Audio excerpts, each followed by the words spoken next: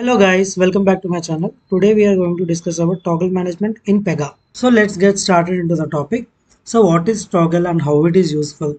Suppose you are developing a feature and some of the users wants to use that feature for some days and after some review they want to turn off that feature. So we do have branches and in branches that is useful for only development purpose and in our development environment it is there suppose there is a scenario where in production you have deployed something. We have to enable that on few days and later that we want to turn off that respective feature. In these particular instances you can't have branches in production. So pega has come up with a option called as toggle management. To access toggle management go to configure system release toggles so you will be navigated to toggle management page. So here you can see a feature toggle allows you to turn a feature on or off for a subset of users or for an entire access group also. So here these are OTB toggles that are available in the system. Now I want to create a new toggle and here I have to select application context because a particular application might be having different application context so you can select whatever you want. This is toggle identifier. You can give some name to it. And this is description.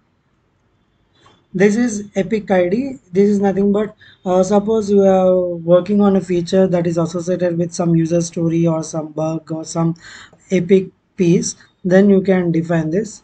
This question mark represents the same. Suppose i'm working on some 24765 user story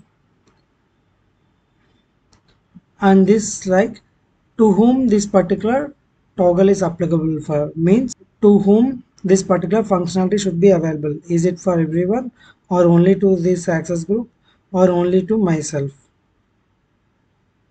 This one. Okay. Now i have to select which piece of code i have to make it enable.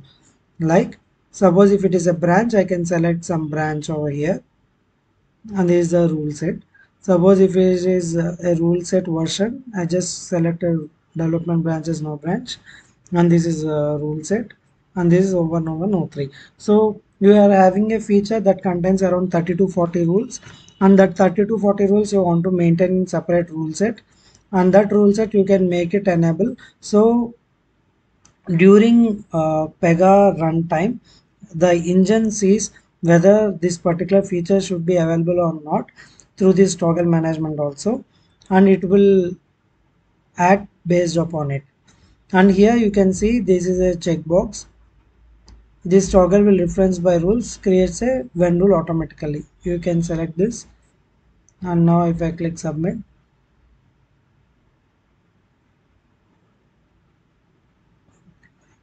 Sorry I should not have spaces over there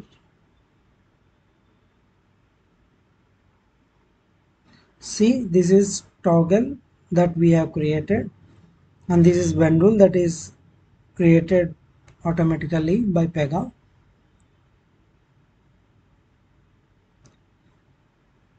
You can customize this when rule if you want and you can provide that and you can edit this toggle references as well okay? And you can delete this as well. And this when rule you can use uh, somewhere suppose you are uh, providing some button okay? And that button should be displayed uh, based on this uh, toggle functionality.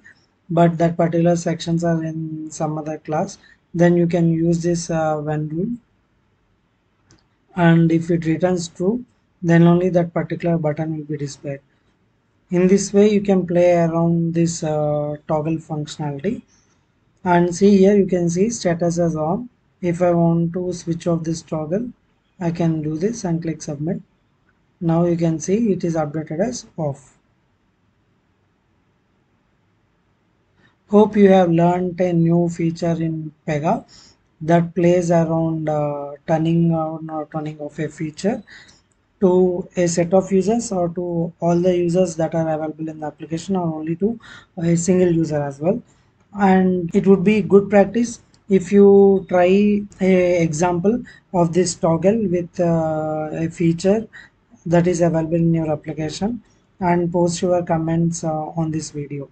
You can study about toggle management uh, more precisely in this particular page I would be adding this link in our description of the video. Thanks for watching this video. Please share, like and comment your feedback and stay tuned to this channel.